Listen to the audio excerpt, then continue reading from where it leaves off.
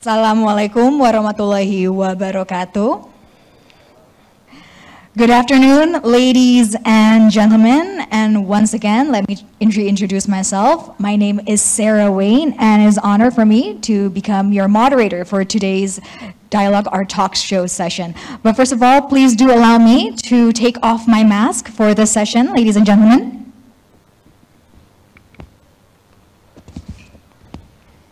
And once again, welcome, and we'll be starting the talk show of the palm oil and environmental sustainability, the high-level policy dialogue. But before we start, can I have first a big round of applause? Is everyone ready to start the talk show, ladies and gentlemen? And I would like to welcome everyone here who is at the event, at the venue, at the Borobudur Hotel, and also those of you who are joining online, welcome, and we'll be starting the talk show in just uh, a moment. But before we do start, probably I would like to give an overview first, as we all know, and as we have also listened, that palm oil is a very prominent vegetable oil commodity in the world, in the global supply chain, and it's one of also one of the world's most controversial commodities, ladies and gentlemen, as we all know. And of course, as we all know as well, palm oil is mostly produced here in Southeast Asia, namely Indonesia and also Malaysia. And palm oil contributes highly and is also one of Indonesia's key export commodities and also contributes significantly to the country's national development. And through this dialogue that we will be having in just a moment, we will be having three sessions today. We will be able, and also we are aiming to bring together stakeholders and also experts to discuss more on the sustainability of palm oil itself, especially in light of the global crisis that we are all facing, ladies and gentlemen. So without further ado, please do allow me to welcome our speakers for the first session, ladies and gentlemen, where we will be discussing palm oil price fluctuation and also supply chain. So without further ado, please allow me to welcome our first speaker, Mr. Oke Nurwan, the Special Staff for Export Improvement and Foreign Trade Development, the Ministry of Trade, Indonesia. Welcome, Mr. Nurwan, and I would like to invite you to please come up onto the stage. And please kindly take a seat. You may sit wherever you like. As you may see, my phone is already at the very far right. Yes, please, sir. And next, ladies and gentlemen, please also welcome Mr. Agus Purnomo, the Senior Advisor on Sustainability for Golden Agri Resources Limited. Welcome, sir. And once again, please do take a seat. Any seats you'd like. And next, I would like to also invite onto the stage Professor Bustano Arifin, the professor at Lampung University. Welcome, Professor. Please, once again, come up on stage. And we also have Mr. Desrico Malayuputra, the Senior Policy Advisor for Sustainable District Association, to please come up on stage. Please give her an applause, ladies and gentlemen. Welcome, sir. Please come up onto the stage. Silakan, memilih tempat duduk bebas. Oh, tinggal satu. Silakan, Bapak. And now, ladies and gentlemen, since we are having this discussion session uh, both online and offline, we also have our speakers who are joining us virtually uh, this afternoon. Please welcome onto the screen Ms. Goldamir Mektania, the representative from Apkasindo. Once again, can we see if Ms. McNania from Apkasindo has joined us? Good afternoon. Please give her an applause for Ms. McNania. Ms. McNania, can you please um, say your uh, short greeting? We'd like to also check if we can be able to hear you for the talk show, Ms. McNania. Yes, absolutely. Uh, thank you, Ms. Wayne, for introducing me, and thank you for the opportunity to join the discussions. And honored to be here and honored to have the dialogue. Back to you. Thank you very much, Ms. McNania. We can hear you clearly. Thank you also for joining us, and we are hoping to have a wonderful session with you as well. And next, please also welcome onto the screen Mr. Nurhanuddin Ahmad Surambo, the Executive Director of Sawit Watch.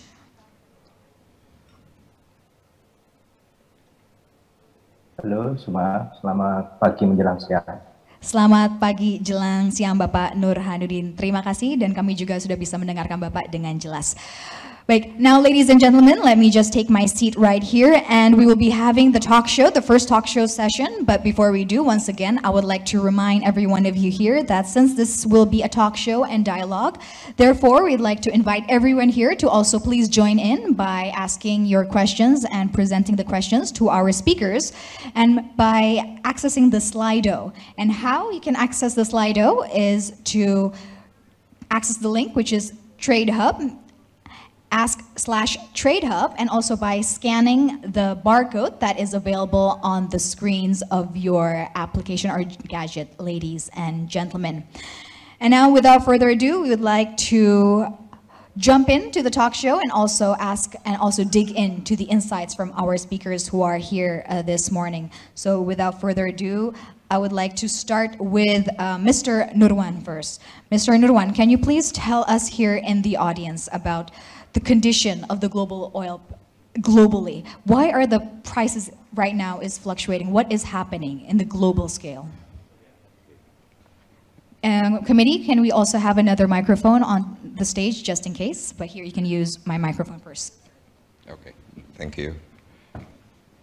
Thank you, Ms. Sarah Wayne. Yes. Wine. Okay, thank you, Ms. Sarah Wayne. Well, I was in, uh, first of all, I think I don't have to mention everybody's here and everybody has been uh, delivering its uh, in its opening ceremony. Well, then, these partici uh, distinguished participants who are here and also uh, online. Uh, first of all, uh, well, the invitation was not coming to me. It was coming to the, my Director General for Domestic Trade, I was uh, the Director General, but I am on retirement since 1st of July uh, this year. So I was asked by, by uh, acting of Director General for Domestic Trade to be here with you. And I would like also to extend his uh, apologies, uh, apologies, uh, apology, apologization from uh, Pak Sailendra, uh, and I'm here uh, on behalf of uh, him uh, for this event. Uh, secondly, I was informed by the MC just now. I would like also to benefit, to take the benefit, the facilitations that are coming from the committee who has kindly enough uh, facilitating interpreter for me.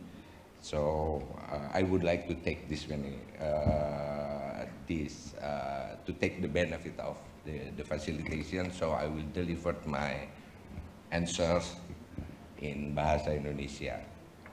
It, it, it will be more convenient for me. Silakan Bapak. Thank you.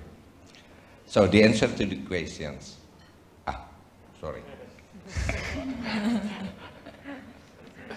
Jadi uh, kembali uh, tadi ke pertanyaannya kenapa uh, har, apa harga terjadi fluktuasi harga palm oil di dunia dan juga ada dampaknya ke Indonesia. Yang pertama ini kita deteksi mulai terjadinya itu adalah Mei 2021. Uh, eh, pemerintah pada saat itu memprediksi ini adalah kejadian sementara. Karena ada gangguan pasokan minyak nabati, di antaranya adalah menurunnya produksi canola oil di Kanada sekitar 6 persen. Kemudian terjadi juga penurunan, apalagi itu yang awal dan setelah pandemi ada terjadi juga penurunan pasokan minyak nabati berbasis palm oil dari uh, Malaysia di mana dari Malaysia itu diperkirakan turunnya formal angkanya itu antara 6 sampai 8 persen akibat tahap awalnya itu adanya banjir di Malaysia yang masuk ke perkebunan.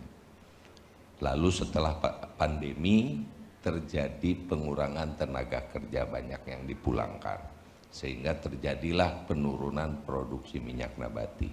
Apa yang terjadi di Indonesia tahun 2021 itu diperkirakan dari CPO dan CPKO itu akan di, uh, di, diproduksi di atas 51 juta terdiri dari CPKO dan CPO dan CPO-nya sendiri harusnya targetnya 49 juta ternyata produksinya hanya 47 juta ton lebih. Dan tentunya ini jadi gangguan pasokan minyak nabati dunia yang kedua pada saat kondisi tersebut terjadi juga di Amerika terjadi pergeseran penggunaan. Penggunaan soybean oil sebagai basic biofuel meningkat cukup tajam. Dari 2010 sekitar 17 persen, 16 eh, sampai 17 persen, di 2020 2021 itu sudah 35 persen untuk uh, biofuel.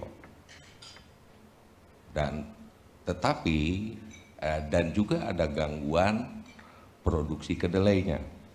Nah, pada saat itu diperkirakan produksi kedelai akan segera membaik, kanola air kanola juga akan segera membaik sehingga diperkirakan ini akan kembali.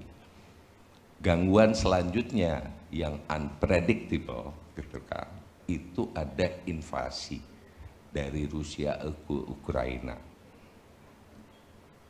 Padahal sebelumnya kita sudah Rusia Ukraina itu pada saat itu kami sampai berdiskusi dengan dubes Ukraina. Biasa Rusia dan Ukraina itu seperti apa Tom and Jerry. Ribut gitu.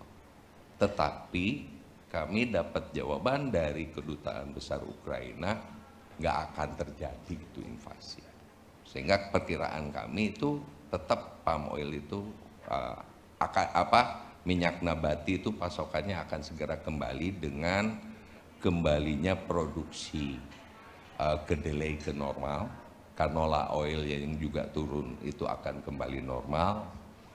Uh, tapi kenyataannya pada saat itu adalah terjadi invasi sehingga sunflower food berdampak. Dan pada saat itu uh, kondisi harga palm oil ini itu merupakan berkah bagi ekspor Indonesia, bagi devisa Indonesia, tetapi tidak berkah bagi ibu-ibu yang menggunakan minyak goreng. Tidak berkah gitu kan. Sehingga pada tanggal 3 Januari Pak Presiden menyampaikan perintahnya, titahnya kepada Kementerian Perdagangan uh, dahulukan kepentingan rakyat, pastikan harga minyak goreng tersedia dan terjangkau. Nah, sehingga tadinya sebelumnya uh, uh, apa palm oil produk atau komoditi palm oil ini tidak diatur oleh pemerintah. Jadi mainnya mekanisme pasar.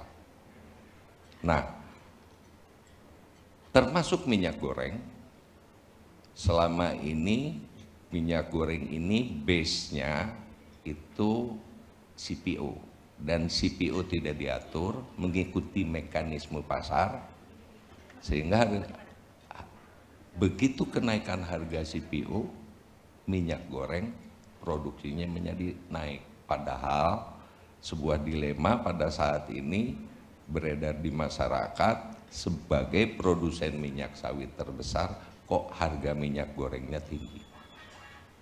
Nah, dari ketentuan yang mekanisme pasar ini akhirnya atas perintah presiden kita harus segera menyiapkan minyak apa menyediakan mendahulukan kepentingan rakyat sehingga mulailah diatur melalui regulasi di mana regulasi itu mengatur pada dasarnya mendahulukan kepentingan rakyat dan menyiapkan.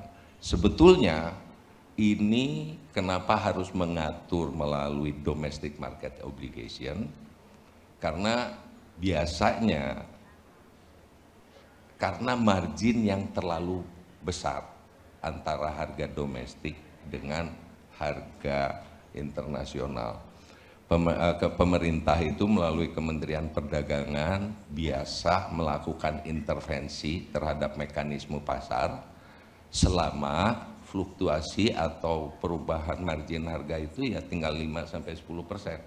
Biasa kita intervensi, mekanisme kita intervensi dengan melalui operasi pasar apa dan sebagainya. Tapi begitu marginnya terlalu tinggi, terlalu banyak yang para pelaku usaha yang memanfaatkan margin yang tinggi ini. Itulah, jadi uh, minyak goreng menjadi tren topik di awal-awal tahun ini sampai uh, tujuh bulan kemudian dan sekarang sudah mulai terkendali, tetapi tetap sampai saat ini pemerintah mengatur dulu uh, belum mengembalikan ke mekanisme pasar, belum dipastikan kapan itu akan terjadi karena ternyata dampak dari fluktuasi harga ini akibat pasokan yang berkurang juga akibat pandemi yang berdampak pada biaya logistik yang tinggi.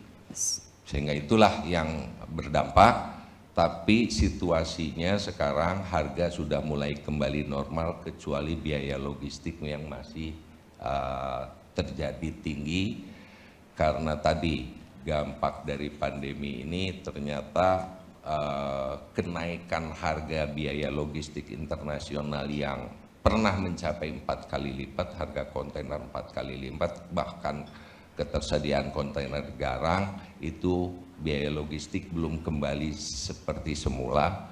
Harga sudah mulai stabil untuk uh, ini uh, karena tadi kedelai produksi sudah baik, bahkan Oktober ini akan panen, uh, kecuali tadi geopolitik invasi Rusia ke Ukraina yang masih uh, mewarnai ketidakpastian dari minyak nabati ini. Demikian. Baik, terima kasih uh, Bapak. Oke, okay.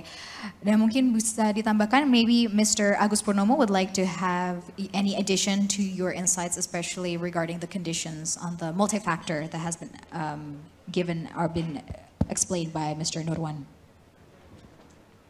Terima kasih Bu, saya mengikuti apa, clue dari Pak Oke menggunakan bahasa Indonesia. Uh, sekedar menambahkan, apa yang sudah diuraikan Pak Oke yang saya sangat setuju, eh, memang faktor cuaca itu sangat erat hubungannya dengan produktivitas dari kegiatan pertanian. Dan apa yang terjadi di Amerika Utara dengan kekeringan, dengan kekurangan air, ada kadang-kadang juga banjir, itu menyebabkan produksi berkurang. Sehingga memang uh, untuk para pelaku bisnis agriculture climate change itu sebetulnya menjadi tantangan yang sudah dialami hari ini, bukan bukan persoalan teori lagi.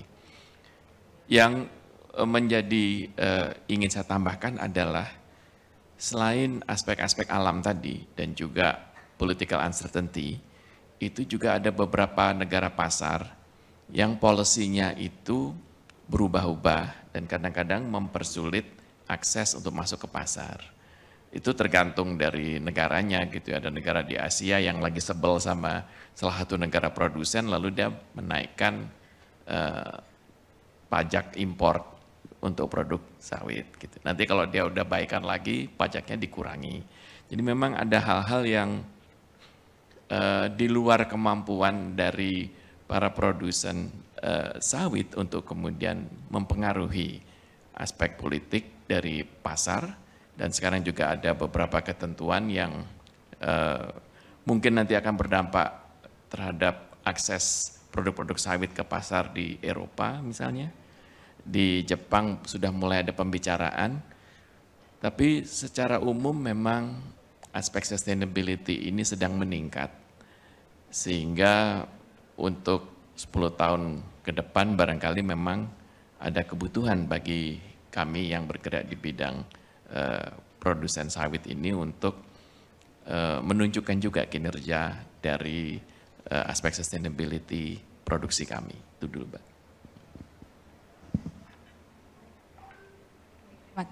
Terima kasih Pak Agus. Dan sekali lagi Bapak dan Ibu karena hari ini kita bisa menggunakan dua bahasa, silakan jika memang ada pertanyaan yang ingin disampaikan dan ingin menggunakan bahasa Indonesia, kami persilakan. Dan juga jika bahasa Inggris, silakan if you'd like to ask a question, you still can ask in English. We'll be more than happy to translate the question for you, ladies and gentlemen. All right, we'll uh, continue to Mr. Mustanul Arifin izin ini ingin menggunakan bahasa Indonesia bahasa Inggris silakan monggo the, the, the same question the same uh, no yes we'd like to also ask okay. the same question and also regarding the condition of the climate change as well it has also been mentioned by uh, Mr. Purnomo what okay. can be done to mitigate the condition that is being faced especially by our farmers thank you thank you Mbak Sarah Ladies and gentlemen, um, the climate change is really a big challenge for us here. Um, one of the strategies that you all understand, I think uh, we apply certification. Uh, of course, to follow all um, and, and, and the standards, both certification and standards. Um, we have here RSPO, we have here ISPO, and somehow we have ISCC, but not all. Um, this is the one uh, to uh, make adaptation and, and mitigation. Uh, I just take note from the, uh, the, the, government's decision two days ago from Comra.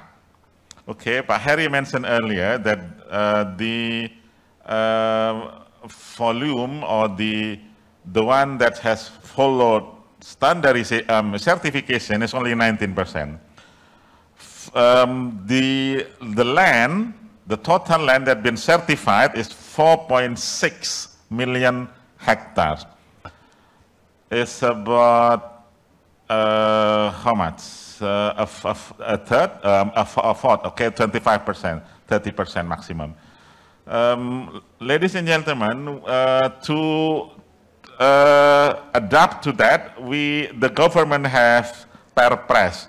Jadi ada perpres bahasa Indonesia juga. Ada Perpres 6 2019 RAN KSB, eh, Rencana Aksi Nasional eh, Kelapa Sawit Berkelanjutan, eh, National Action Plan for Sustainable Palm Oil. That's to um, uh, to do both adaptation and, and mitigation. Tapi memang uh, tidak tidak banyak yang mampu menerjemahkan that could translate into action, into uh, programs and intervention in the field, especially uh, the provincial and the local governments. So the key uh, is the responsibility of the um, private sectors and uh, smallholders. The question um, how to do partnership. I'm, I'm not talking about the um, monitoring and evaluation is too much. How to do the partnership uh, big companies such as uh, companies by Mas Agus, Pak Pungki, and uh, the, the partners. Ladies and gentlemen, the one that's really get impacted by the price fluctuation and probably the, uh, the policies is really smallholders what kind of smallholders? Independent smallholders. Jadi teman-teman di di uh, kelapa sawit rakyat ini Mbak Sarah yang paling terhantam itu adalah uh, mereka yang mohon maaf tidak berpartner. Saya pikir itu PR.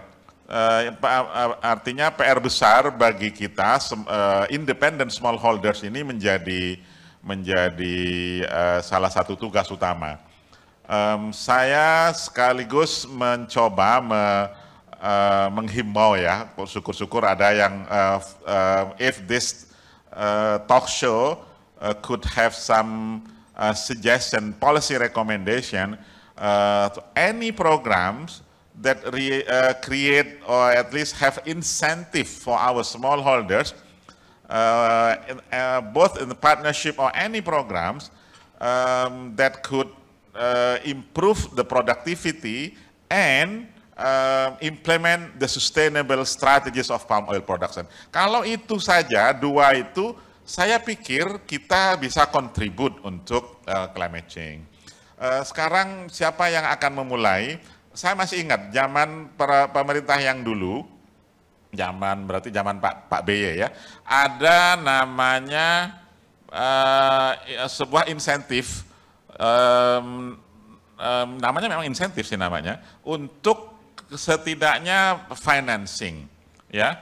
Waktu itu belum musim permajaan, Uh, yang di situlah yang mem mem memperingan. Sekarang teman-teman di lapangan itu, saya, mungkin nanti uh, mohon dikonfirm ya teman-teman Apakasindo, um, jadi dari modalnya itu habis untuk bayar cicilan bunga, apalagi yang pinjam bunga. Kalau yang tidak pinjam, mereka memang harus tergantung Pak Oke kepada uh, tadi harga yang berfluktuasi itu. Alhamdulillah harga Mbak Sarah sudah mulai naik ya, saya lihat ya. Per uh, tadi saya saya buka site um, untuk di lapangan itu uh, sudah mulai not bad ya, sud, uh, berapa sekarang? Uh, FOB-nya untuk CPO sudah uh, 900-an, uh, 904 ya. Kemudian untuk uh, TBS sudah uh, 2100, 1900 gitu kan. Uh, bahkan memang ada ada withdrawal ya, masih banyak withdrawal itu Bapak Menurut sekalian kalau kalau di lapangan itu eh, kalau harga bukaan pertama kemudian misalnya Belawan buka 11 11.500 tapi tidak ada yang eh, ngebit sebesar itu berakhir ya 11.400 11.300 jadi eh, masih berdampak sih masih berdampak cukup baik eh, tidak di bawah 1.000 seperti dulu mungkin demikian jadi saya tadi mengaitkan antara fluktuasi harga dengan uh, apa sertifikasi dan adaptasi ke perubahan perubahan iklim. Baik, terima kasih Prof. Silakan Pak Agus ingin menanggapi dan menambahkan juga untuk kita semua. Terima kasih Prof. Indul. Jadi sebetulnya kalau bicara apa yang bisa dilakukan oleh perusahaan-perusahaan kepada uh, smallholder sawit, yang dominan tadi sudah disinggung sedikit adalah peremajaan sawit. Jadi program peremajaan sawit itu memberi uh, opportunity, kesempatan pada para perusahaan untuk membantu petani dengan mencarikan dan memberikan garansi uh, modal untuk melakukan penanaman dengan bibit-bibit yang bersertifikat, bibit yang unggul, sehingga produktivitasnya akan meningkat, meningkat bisa dua kali lipat atau lebih. Kemudian juga di dalam pemeliharaannya dia akan mendapatkan dukungan yang uh, mencapai standar good agriculture practice. Yang kedua adalah eh, di dalam pasar yang sering memberikan insentif untuk sustainability, itu ada klausul untuk special allocation atau treatment bagi smallholder. Sehingga memang menjadi sebuah opportunity baru yang belum belum tahu kapan akan terrealisasi uh, untuk menjual produk yang bersumber dari kebun petani kecil. Uh, smallholders uh, products ini hanya bisa dijual tentunya kalau ada kemampu telusuran, akan ada traceability. Uh, perusahaan tempat saya bekerja kebetulan sudah punya data 110 ribu petani smallholder dengan geotag location dan berbagai informasi lain yang bisa pada saatnya nanti digunakan untuk uh, menjadi labeling bahwa produk yang masuk ke pasar adalah produk dari smallholder. Terima kasih. Baik, terima kasih Pak Agus atas tanggapan dan juga jawabannya. Nah, mungkin kita juga sekarang ingin bertanya juga kepada Pak Desriko, Mr. Desriko, what are your views, especially regarding the price fluctuation that has been uh, explained earlier by our other speakers, and also the governance, the impact that it has, and also the supply chain. Oke, okay, saya juga akan menggunakan bahasa Indonesia. Bapak Ibu yang saya hormati, uh, menjawab dari pertanyaan kunci yang disampaikan oleh moderator, kami ingin menyampaikan lima poin saja dalam pandangan kami. Pertama, Indonesia itu negara yang rentan terjebak dalam perdagangan CVO.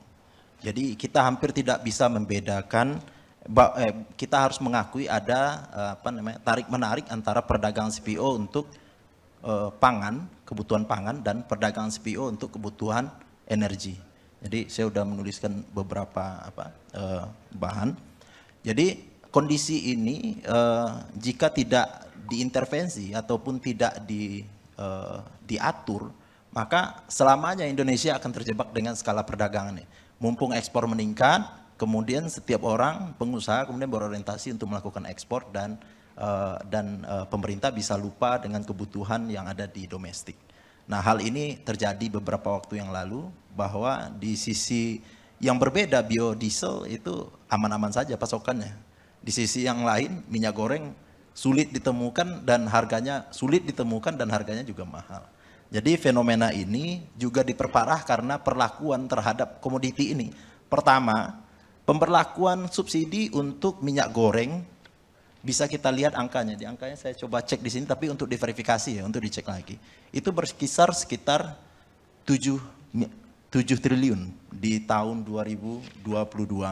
Kemudian insentif yang diberikan untuk biodiesel itu sangat tinggi, sangat sangat tinggi sekali di tahun 2021 atau di 2002 yang yang sudah direncanakan.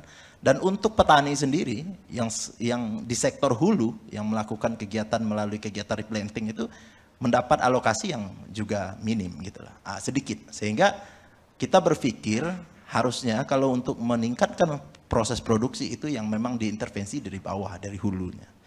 Yang kedua, sumber CPO kita untuk kebutuhan pangan dan biodiesel ini tidak dapat dibedakan di tingkat tampak, Pak Heri.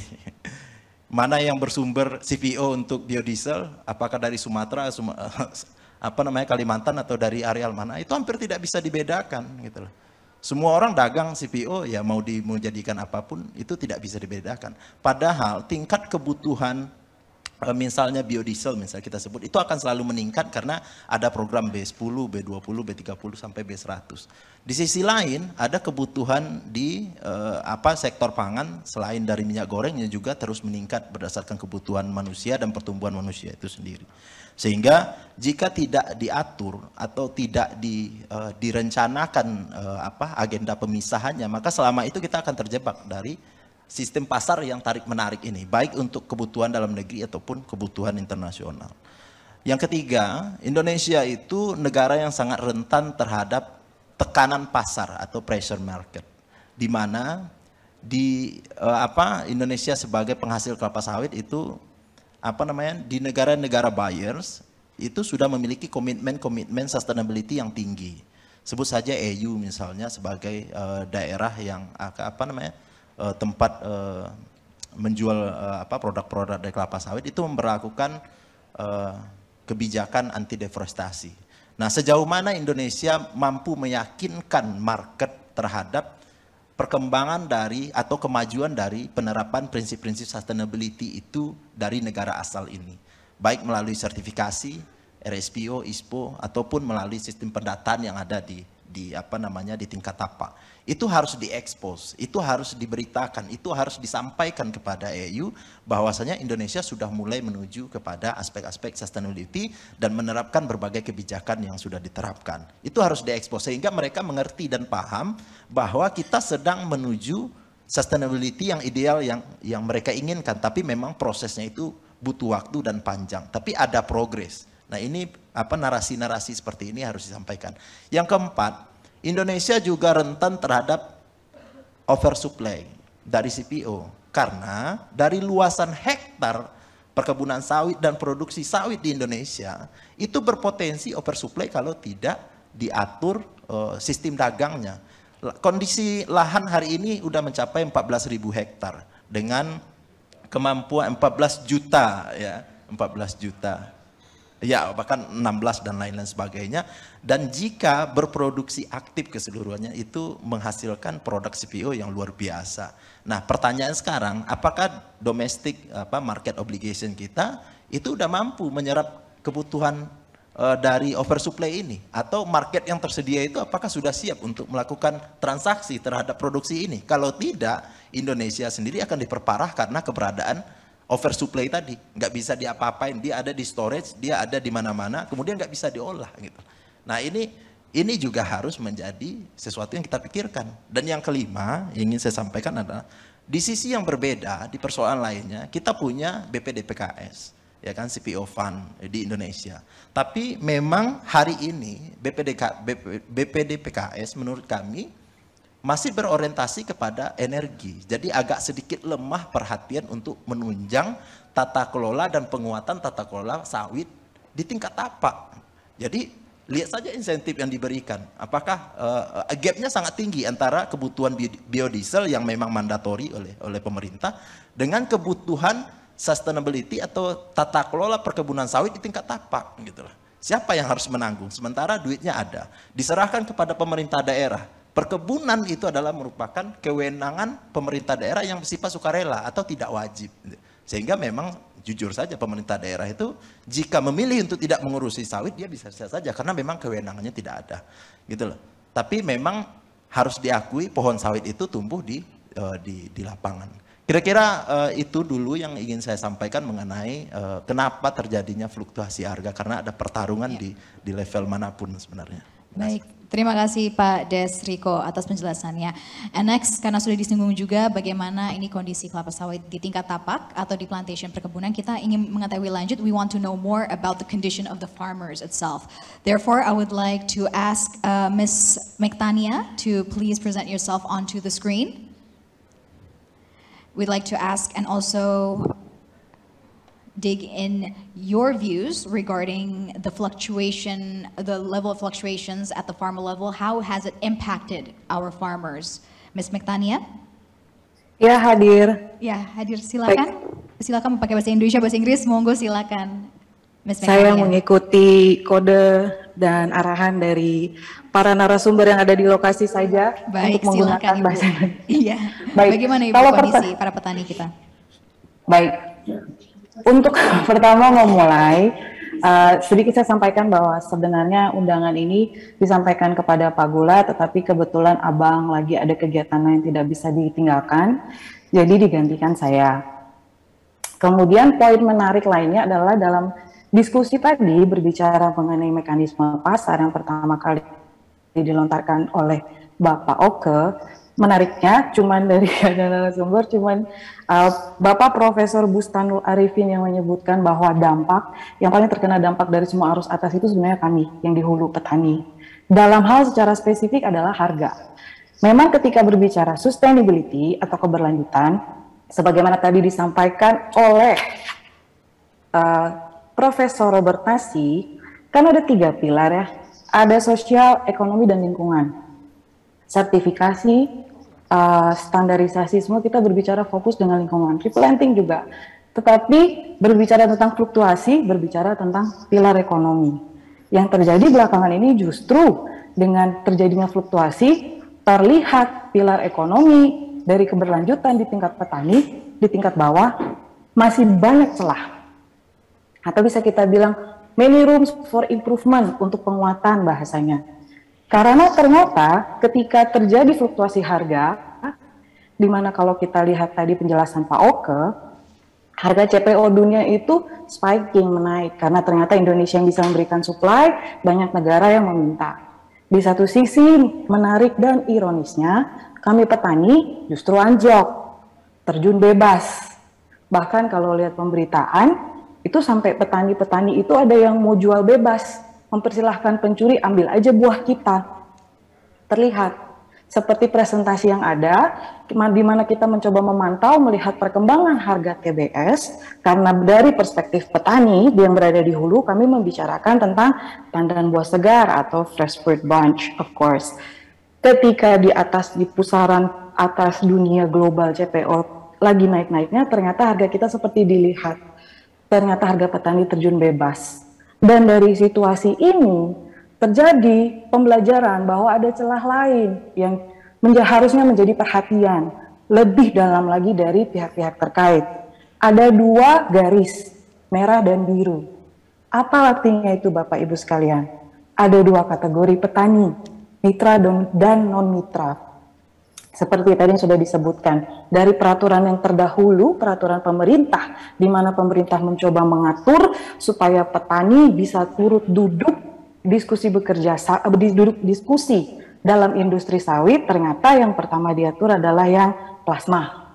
Kemudian berkembang sampai dengan peraturan terbaru di Permen Pertahanan nomor 1 tahun 2018 pergantian diksi menjadi mitra dan non mitra.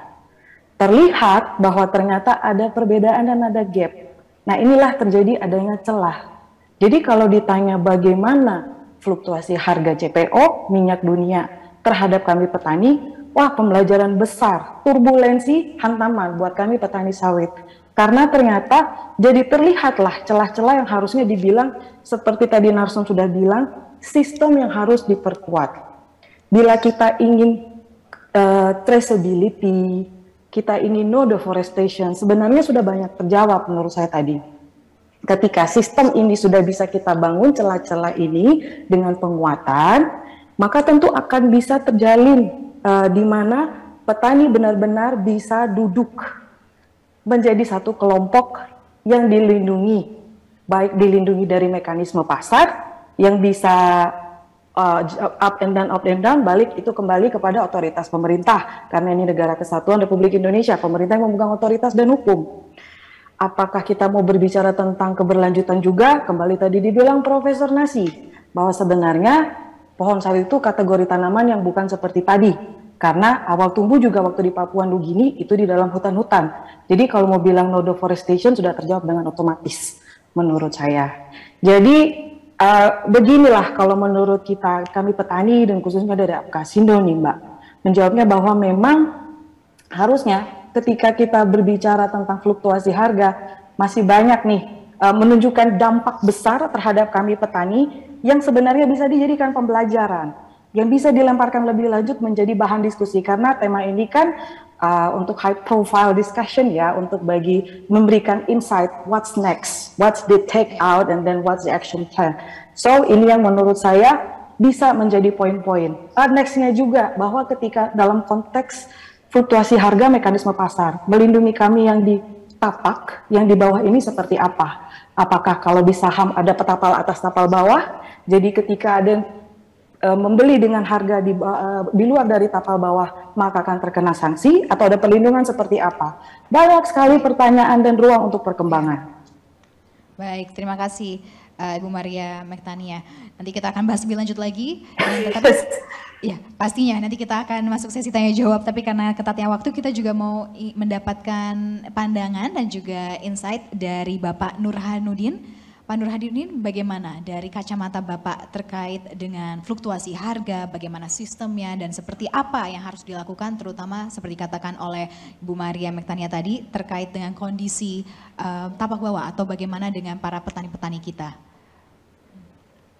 Ya, uh, makasih Mbak uh, atas uh, beberapa hal. Mungkin saya menambahkan informasi dari para narasumber saja. Ada pertama itu mungkin saya mau bilang Mbak, ada satu kelompok yang kurang diperhatikan yakni buruh kebun ya. Buruh kebun itu kalau dalam kerangka kita itu kita mencatat kurang lebih ada 10 juta jiwa. Ini juga menurut saya uh, besar sekali sehingga diskusi kalau uh, diskusi keberlanjutan, diskusi soal isu sustainability itu harus melibatkan juga kelompok ini. Jangan ada yang ditinggalkan itu menurut saya ya. Selain petani juga ada buruh kebun.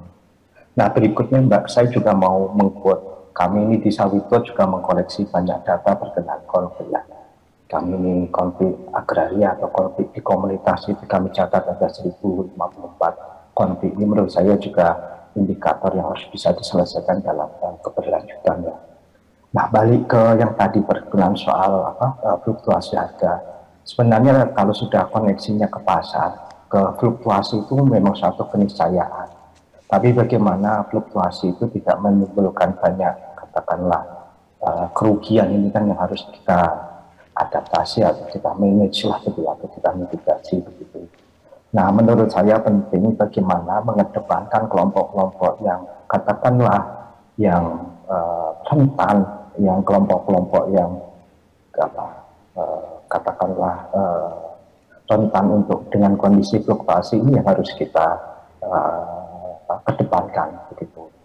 Nah, saya bayangkan Mbak dalam kerangka ini pemerintah harus mendefinisikan dulu siapa yang dimaksud uh, petani sawit. karena uh, definisi yang ada yang kami ada itu masih sangat longgar Pak. Bagaimana petani yang dua hektar kok bisa disamakan dengan petani yang lebih dari dua hektar? Itu menurut saya pemerintah harus clear dulu itu sehingga ketika ada beragam kegiatan untuk katakanlah uh, membuat satu kondisi yang lebih baik itu kita bisa pilih dan pilih. Jangan sampai uh, petani yang luas begitu ya uh, disamakan dengan petani. Nah, uh, problem di uh, apa, peraturan kita belum sampai di sana, jadi masih sangat longgar sekali. Di mana yang disebut tadi ya, dibilang sama Mbak Maria tadi, Goldemer, ada yang termita, ada yang bukan termita, itu menurut saya penting lebih didetailkan begitu. Sehingga yang dimaksud petani itu yang mana itu yang menurut saya penting. Nah berikutnya Mbak fluktuasi ini juga menurut saya uh, ber, berkembang juga dengan situasi global yang ada ketidakpastian yang tadi Pak Oka cerita, Pak Agus, Pak Bustanul begitu ya. Tapi dalam kerangka ini memang penting untuk uh, dibuat satu kondisi di mana harga itu tadi saya uh, uh, Bu Maria sempat tadi uh, ada ide bagaimana sebenarnya uh, dalam kerangka harga ini petani juga terlindungi kita punya undang-undang perlindungan pemberdayaan petani, uh, mungkin kita bisa gunakan dulu. Bagaimana kita ke depan punya konsep mirip kayak uh, komunitas lain, mungkin kayak apa gitu, ada uh, harga dasar apa mungkin nanti bisa dielaborasi lebih lanjut.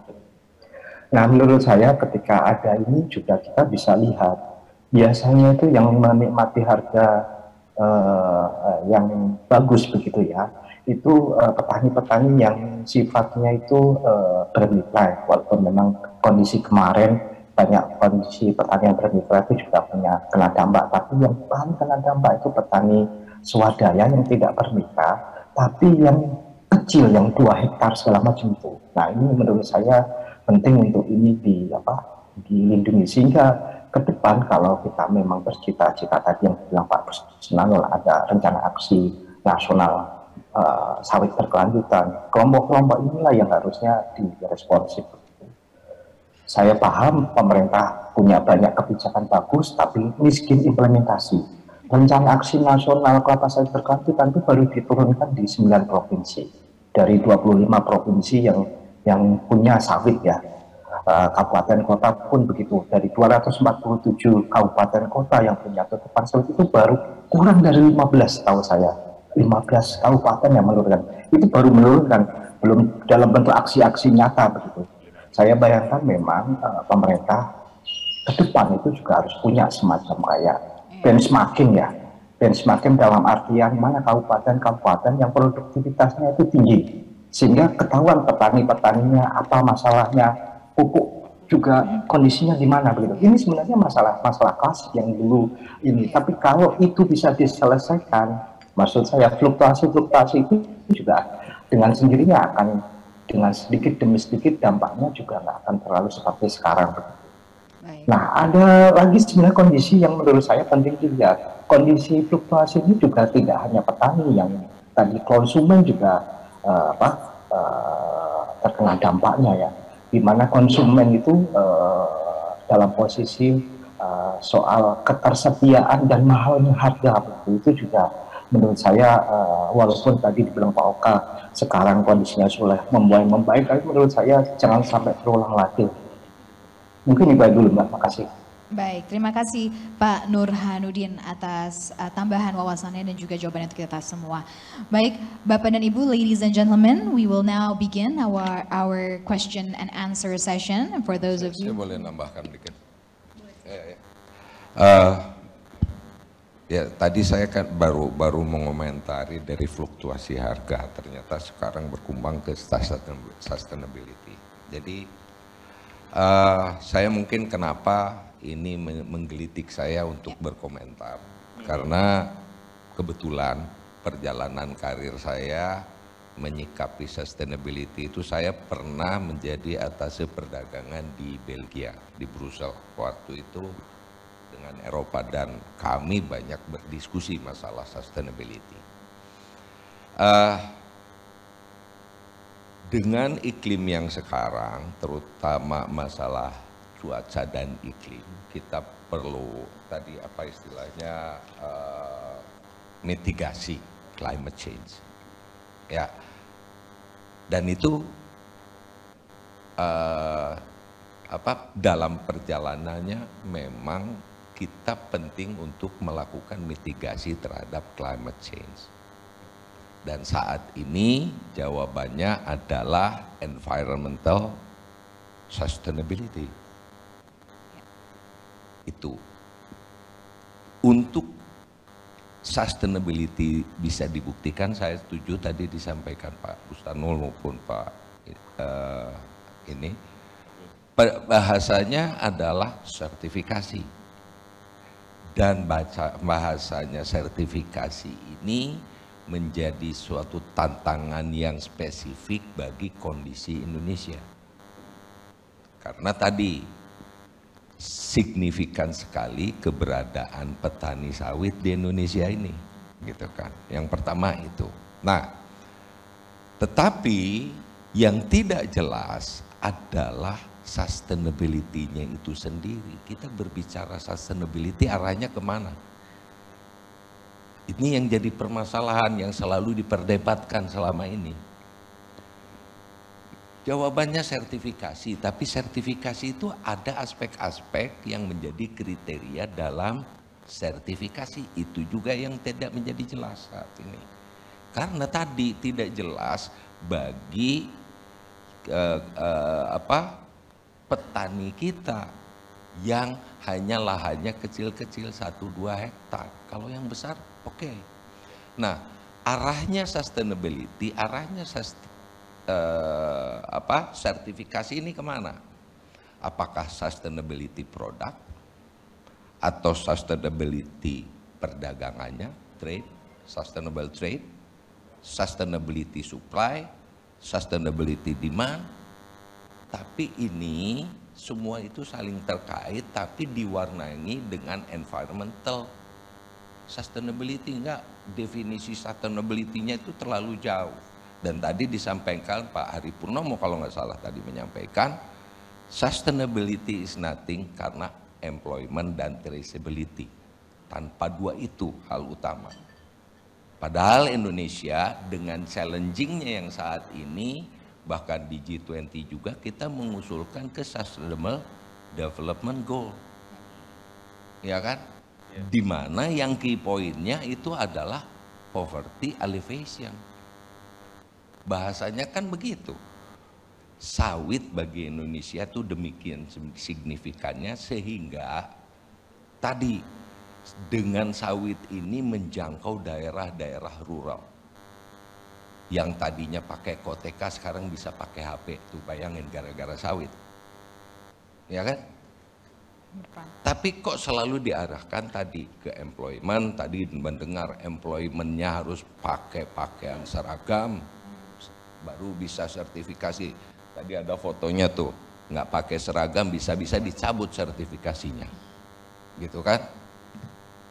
Tapi apakah ini cocok untuk Indonesia yang tadi kontributor farmernya, petaninya kecil, gitu kan? Hanya satu dua hektar, tetapi dipenuhi dengan persyaratan-persyaratan yang sangat challenging bagi mereka dan mereka kesulitan untuk itu apalagi berbeda harga apalagi tadi uh, perhatian pelaku usaha masih belum optimal terhadap yang ibu sampaikan tadi petani swadaya plasmanya sudah oke okay. yang swadaya dengan berbagai alasan tidak memenuhi standar kualitas lah dan sebagainya sementara mereka harus mengikuti tadi sustainability environment tadi dalam rangka climate change. Ini yang jadi masalah sampai saat ini dan jadi challenging dan terjadi perbedaan standar antara, mohon maaf, saya nggak menjadikan itu ada perbedaan kriteria lah antara RSPO, ISPO yang uh, perkembangan sustainability itu lebih diarahkan bahasanya oleh negara-negara yang uh, lebih maju dan lebih ini gitu kan. Sehingga tadi bagi dia itu bergeser ke unemployment sustainability bergeser ke traceability bergeser ke apa uh, biodiversity dan sebagainya Sementara poverty alleviation nggak pernah mau. Itu kan menjadi penting bagi kita. Itu tantangan bagi kita, poverty alleviation ini jadi penting. Nah,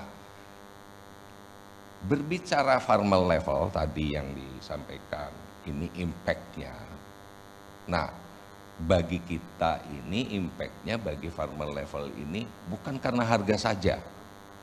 Karena tadi mereka itu harganya menjadi terdampak karena dianggap tidak sustain.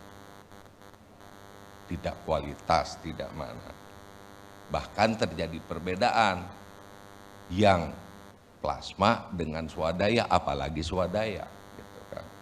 Ini yang ini. Dan eh, belum lagi buruh dan pemilik kebun. Itu yang menjadi ini apa eh, penting bagi kita. Sehingga saya harus berkomentar ini.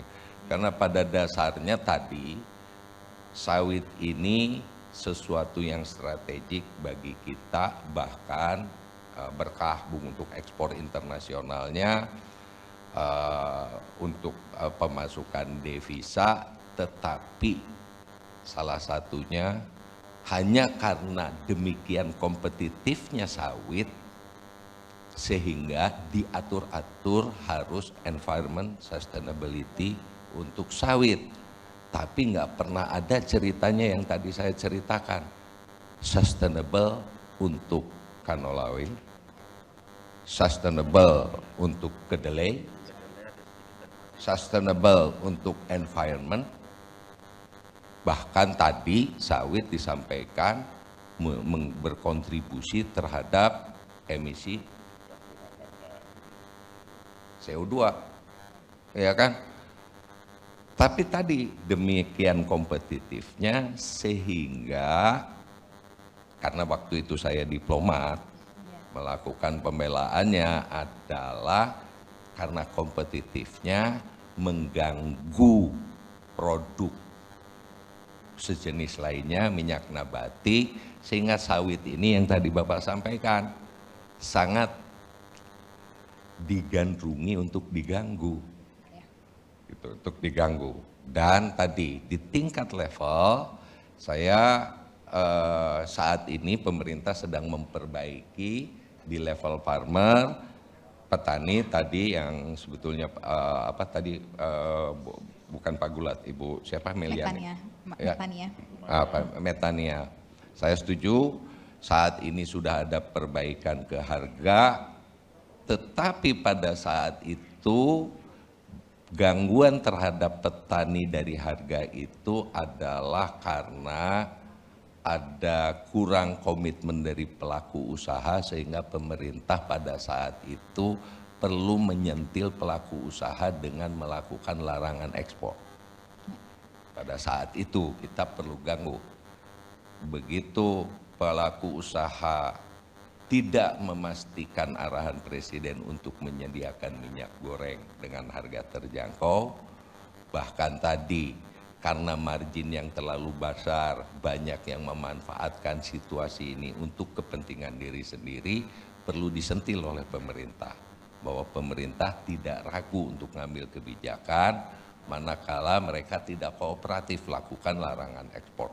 Dampaknya memang terjadi sementara ini langsung jatuh ke harga CPO dan terdiskoneknya karena uh, antara harga KPBN dengan uh, internasional selama ini uh, eh, CPO di Indonesia tergantung dari harga KPBN. Selama harga KPBN-nya masih selaras atau relevan dengan harga internasional, itu nggak masalah, nggak dipermasalahkan dengan petani. Begitu ada larangan ekspor, terjadi diskoneksi antara CPO internasional dengan harga KPBN. Harga CPO internasional sementara KPBN tertekan harganya kan jauh sekali. Nah ini sedang kita perbaiki dan mudah-mudahan sudah mulai membaik. Saat ini target dari Presiden itu di atas 2000 saat ini uh, untuk petani plasma sudah uh, be beberapa di antaranya mendekati 2000 atau di atas 2000, sebagian swadaya masih di bawah, tapi harganya tidak terlalu jauh seperti sebelumnya yang terjadi. Di ya. plasma bisa dua kali lipat harga di swadaya. Jadi uh, yang kita lakukan saat ini adalah meng, uh, seharusnya yang diusulkan Pak Gulat pada saat itu harga CPO di petani itu diikatkan kepada CPO internasional bukan ke KPBN karena KPBN itu kontribusinya kecil sekali kan itu. Yang diusulkan adalah ke harga referensi yang diterbitkan Kementerian Perdagangan mengikuti harga internasional. Nah, karena tadi itu akan selaras terus. Nah, tapi kan ini mekanisme pasar yang selama ini harga CPO itu tergantung KPBN yang transaksi tahunannya hanya untuk 3 juta ton.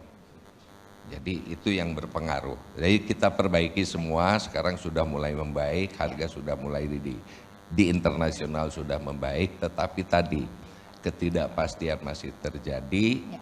yang akan selalu berdampak kepada petani, apalagi dengan tingkat inflasi yang sudah mulai meninggi di beberapa negara, Indonesia diperkirakan di akhir tahun itu uh, supaya enggak itu ya cukup besar juga walaupun lebih baik dari negara lain.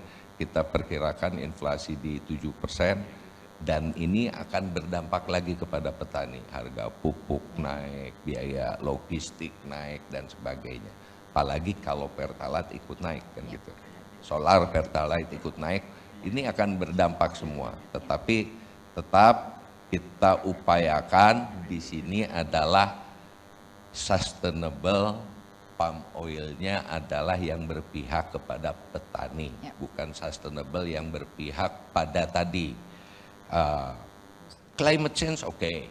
tapi pada saat ini ini juga penting sustainable bagi para petani, ya. sehingga uh, definisi sustainable dan kriteria yang sustainable itu bukan tidak bagus yang dikembangkan oleh negara maju, tapi saya setuju kita harus mengembangkan definisi sendiri tentang sustainable palm oil ya, related to environment dan uh, poverty alleviation. Yes.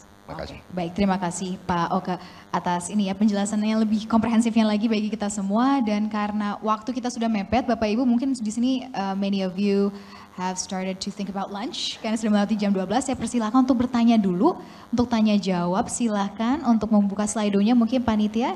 Are there any questions that have been submitted through Slido?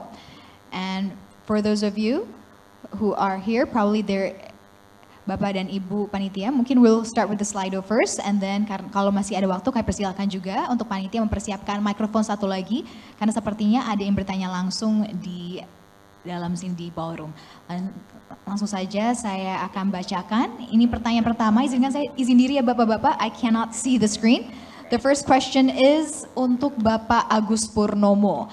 Apakah implementasi sustainability, misalnya sertifikasi internasional maupun ISPO memiliki pengaruh kepada keseimbangan harga CPO dalam hal mengembalikan pola penjualan ke mekanisme pasar untuk mendapatkan keseimbangan harga domestik yang baik?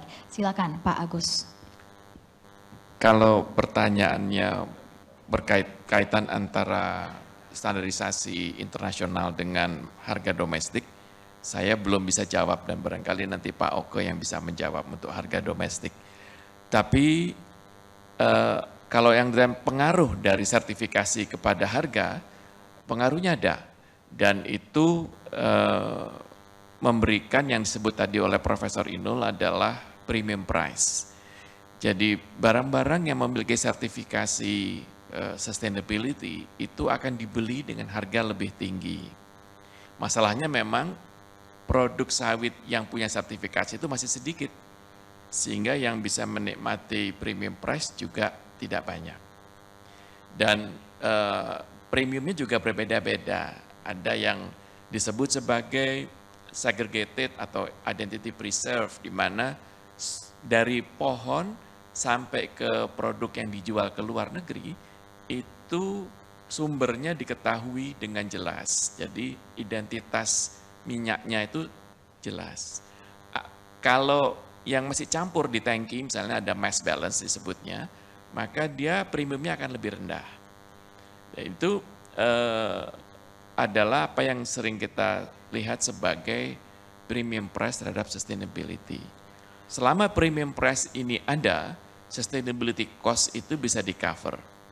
Masalahnya yang ingin, yang bersedia membayar sedikit lebih, itu cuma sedikit dan pasarnya ya itu-itu lagi. Nah itu juga yang paling ribet juga pasar yang itu-itu lagi itu ya. Sementara pasar yang lebih besar, lebih banyak, itu maunya mencari harga minyak yang uh, yang paling murah dan tidak begitu peduli dengan sustainability sehingga kemudian sustainability betul seperti kata Pak Oke menjadi beban bagi para produsen sawit di uh, baik yang perusahaan maupun yang perorangan karena para konsumen itu menolak untuk berkontribusi mereka tetap mau barangnya murah tapi sustainable. Yang nggak bisa orang sustainable itu ada ada biayanya gitu.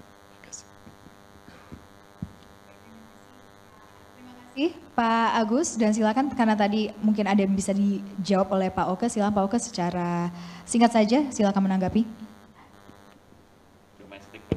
Oke. Uh, jawabannya untuk iya sebetulnya ini. Nah, jadi pertanyaannya apakah implementasi sustainability misalnya sertifikasi maupun ISPO memiliki pengaruh pada keseimbangan harga CPO dan sebagainya. Nah, saya mungkin melihat dari sisi lain. Karena permasalahan sustainability ini katakanlah tadi disampaikannya adalah masalah environmental sustainability dikaitkan dengan climate change. Jadi nggak ada hubungannya. Ini adalah kepentingan kita untuk menjaga lingkungan global dunia. Nah, tetapi ini akan berdampak bila mana semua sepakat mengarah ke sana. Nah, terjadi premium price dalam tanda kutip. Karena tadi begitu perusahaan hanya mengambil yang sertifikat sustainable, maka pasarnya di situ. Yang nggak sertifikat nggak laku. Harga standarnya keseimbangannya itu adalah yang ya. di sustainable-nya. Dalam hal mengembalikan ke mekanisme pasar untuk mendapat harga domestik yang baik, saya ada pengalaman bahwa produk kayu kita ada pengembangan dari Eropa harus traceable dan sebagainya. Terjadi penafsiran yang berbeda dari kita bahwa kalau produk kayu itu adalah traceable dapat premium price kejadiannya nggak ada. Baik.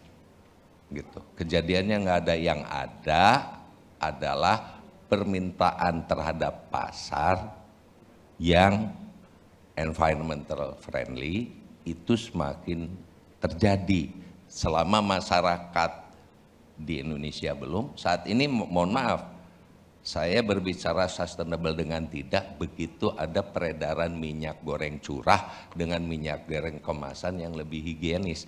Bagi masyarakat 42 persen masih memilih minyak goreng yang non kemasan yang macam curah. Yang tinggal hanya di dunia dua. Is that apakah itu menjawab masalah sustainability bagi Indonesia? Minyak goreng curah aja masih dibutuhin. Ya kan? So apakah minyak goreng kemasan mendapat premium price? Nggak jadi karena masyarakat masih memilih minyak goreng curah, curah. Baik. itu jawaban. Okay. Baik, terima kasih Pak Oke. Kita akan lanjutkan ke sesi pertanyaan ke pertanyaan selanjutnya, Bapak dan Ibu. Untuk panitia, apakah kita akan membuka pertanyaan dari Slido atau bisa langsung dari yang hadir langsung? Baik yang hadir langsung, boleh tunjuk tangannya silakan Bapak kepada panitia akan mempersiapkan mikrofon silakan pertanyaannya diajukan. Terima kasih. Mungkin uh, saya Aziz Hidayat dari GAPKI. Mungkin kami tidak bertanya, hanya sedikit memberikan menambah apa penjelasan saja terkait informasi terkini utamanya tentang sertifikasi ISPO tadi karena banyak ditanyakan ISPO. Jadi saat ini sudah terbit 895 sertifikat dengan total area 5,187 juta hektar. Nah, dari 895 itu anggota GAPKI yang sudah ISPO 560 atau 64 persen. Kemudian juga ada kooperasi pekebun 26 kooperasi seluas 22 ribu. Jadi juga pekebun sudah on the track menuju ke sertifikasi ISPO karena di dalam sistem ISPO yang baru Perpres 44 tahun 2020 maupun Permentan 38 tahun 2025 nanti pekebun wajib untuk menerapkan sertifikasi ISPO ya. dan akan mendapat insentif berupa biaya audit ISPO ditanggung oleh BPDPKS. Ya, kemudian juga saat ini sudah uh, marak ya atau secara masif sudah dilakukan sosialisasi, pelatihan-pelatihan tentang sustainability dan diharapkan nanti 2025 semua pekebun bisa wajib ISPO. Okay. Apalagi sekarang total dari kebun sawit untuk pekebun kan 41 persen, yeah. sekira, eh, sekitar 7,62 juta hektar. Ini yeah. PR kita bersama. Kemudian terkait tadi ada pertanyaan saya ingin sedikit menjelaskan antara RSPO, ISPO, dan MSPO. Kan tiga sertifikat palm oil kan tiga ini yang dominan ya. Jadi sebetulnya untuk prinsip dan kriteria ketiga-tiga jenis sertifikasi ini identik. Hanya headingnya saja yang berbeda ya Bu Tia. Tapi sebenarnya isinya mirip. Hanya saja memang kalau di RSPO kan masih voluntary. Ya, tapi kalau ISPO dan NSPO sudah mandatori atau wajib. Kemudian juga perbedaan manfaat untuk pekebun, kalau di RSPO ada premium price, dan saya beberapa kali menyaksikan ada pemberian premium price, tapi kalau di ISPO dan MSPO itu belum ada insentif harga untuk TBS maupun CPO. Tapi insentifnya berupa pemberian biaya audit untuk ISPO-nya. Itu sedikit saja dari kami. Terima kasih. Assalamualaikum warahmatullahi wabarakatuh. Baik, terima kasih. Wassalamualaikum warahmatullahi wabarakatuh. Terima kasih Bapak. Dan seperti tadi ada mau pertanyaan selanjutan lanjutannya dari salah satu yang hadir juga secara langsung. Terima kasih atas tambahan informasi dan juga Oh, baik dari sebelah sana. Silakan, maaf. Sudah berpindah sepertinya mikrofon. Silakan. Maaf. Nama saya Pak Halas ya dari POPSI, uh, Asosiasi Petani Sawit. Ya, ya. Silakan Bapak. Ya, kita banyak dari uh, petani swadaya. Ya, kalau kami timbang-timbang ya, ini gara-gara gara-gara mencukupi uh, apa cooking oil ya, cooking oil yang jadi hancur baur semuanya harga di petani. Nah, kalau kita lihat tahun ke tahun uh, produksi cooking oil itu menurun ya dari tahun ke tahun produksinya. Dan kalau kita lihat lagi biodiesel itu makin tahun ke tahun meningkat. Sampai sekarang itu 12 juta, sekian juta liter ya.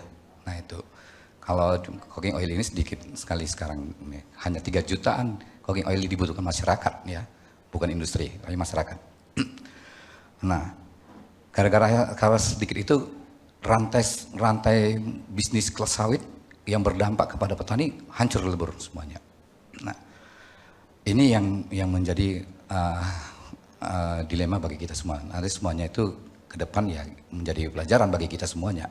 Nah, itu terutama di apa di pemerintahan maupun di uh, pengusaha. Ya. Di pengusaha sendiri uh, banyak banyak yang yang tidak fair juga, ya tidak fair juga terhadap penerimaan TBS-nya petani gitu. Nah, ada sisi yang awal walaupun ada ketetapan dengan permintaan nomor 1 2018 itu tetap penetapan harga, tapi tidak itu tidak dipakai juga menjadi macan tulisan aja gitu ya, macan kertas saja itu.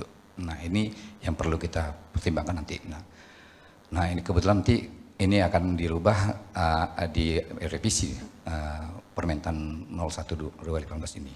Kita akan kita akan diajak uh, diskusi tentang perubahan ini.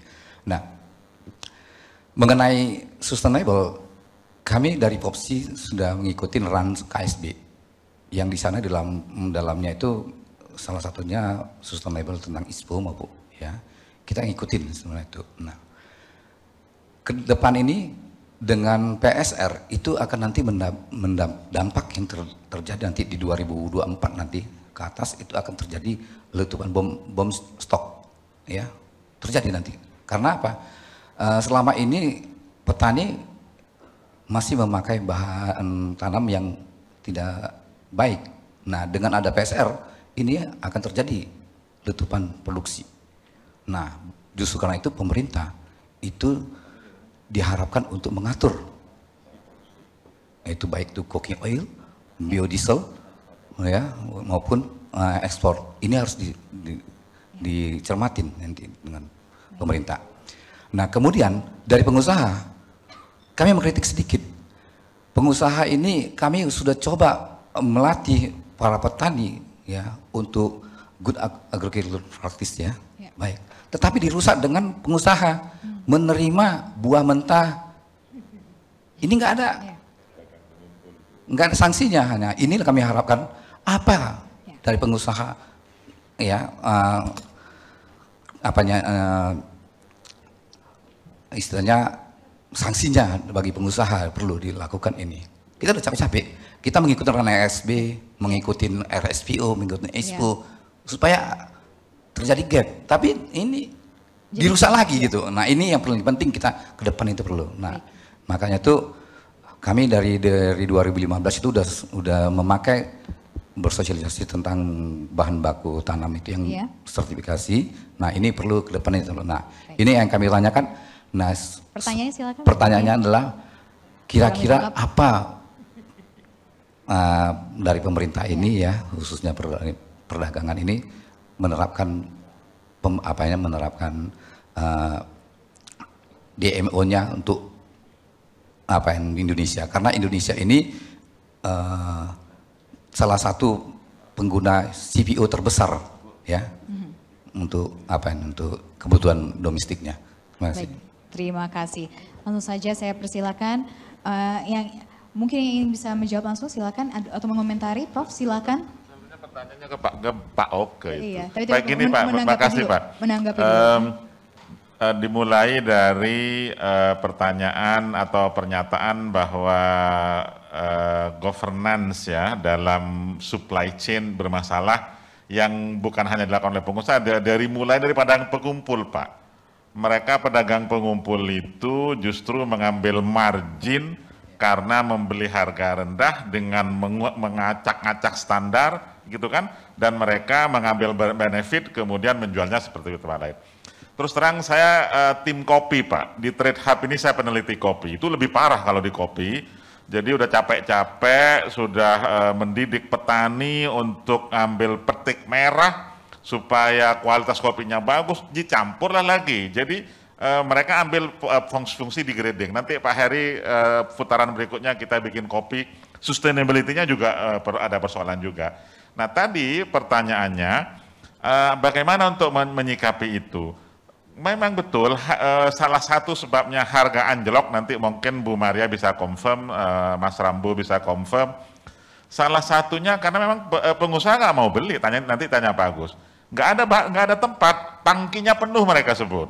Ya, akhirnya di samping itu mereka masih menunggu ketidakpastian. Jadi pengalaman kemarin itu pengalaman berharga betul eh, jika ada akses ya, ada apa kata Mas Bungki tadi, eh, tangki ditambah di mana-mana sehingga pada apa pedagang eh, pengumpulan itu ada sehingga governance dari supply chain itu juga eh, sampai ke ujung bahwa memang sustainability ada tempatnya. Kalau cuman mendidik apa sertifikasi di hulu tapi mereka tidak mendapat harga jual yang baik yang bagaimana dong kan gitu.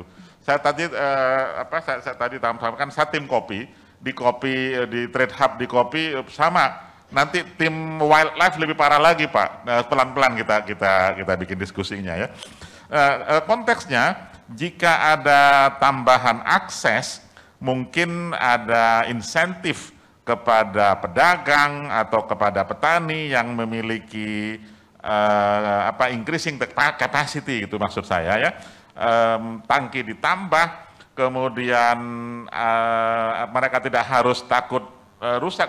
Tapi ada satu lagi kita belum bahas, apa benar kalau CPO atau TBS itu di uh, lama-lama um, apa ditimbunnya kemudian apa memang nanti ada persoalan loh kepada fatty acidnya ya kan? Uh, itu uh, persoalan sendiri lagi nah, dampak kesehatannya kita belum bahas juga mengenai itu. Tapi kalau uh, kapasitas dari supply chain ini ditingkatkan sangat mungkin upaya di uh, JAP di hulu ada manfaatnya Pak. Nanti mungkin Pak Agus bisa tambahkan. Terima kasih. Silakan Pak Desriko. Uh, saya sedikit apa berbagi pengalaman yang kita terapkan di kabupaten anggota LTKL. Jadi uh, kita apa kami dari tim sekretariat Asosiasi Pemerintah Kabupaten mencoba menjawab persoalan seperti itu. Jadi pertama uh, kita harus akui luas lahan sawit di daerah itu, kemudian dengan keberadaan mills itu gapnya tinggi ya. ya. Jadi produksinya tinggi, yang nyerapnya sedikit gitu. Jadi jangan cerita yang lain dulu loh. Kapasitas ini nggak pernah diedukasi gitu loh. Bahwasanya kita udah oversupply, kita udah super, itu nggak pernah diedukasi. Sehingga perdagangannya lintas uh, lintas daerah, lintas kabupaten dan lintas lintas uh, apa uh, apa namanya ini provinsi gitu. Nah ini harus ini ini satu persoalan yang harus dilakukan bahwa setiap petani kita di di tingkat kabupaten itu harus diedukasi dengan informasi ini agar sikap-sikap ekspansi itu tidak terjadi. Ini setiap hari orang akan, akan melakukan ekspansi karena bayangan harga tadi seolah-olah akan dapat harga padahal yang pembeli terdekat mereka itu punya kapasitas tertentu yang harus dilakukan. Nah maka apa yang dilakukan oleh LTKL? Jadi mudah-mudahan tanggal 8 ini kami di Kabupaten Sanggau bersama pemerintah kabupaten sedang mendorong agreement antara pemerintah kabupaten dengan perusahaan uh, sawit di, di Kabupaten Sanggau khususnya Mills agar memperlakukan harga terbaik untuk petani-petani yang sudah terdata melalui STDB, kemudian yang sudah berproses untuk menuju uh, sertifikasi, khususnya untuk mendapat DO. Gitu.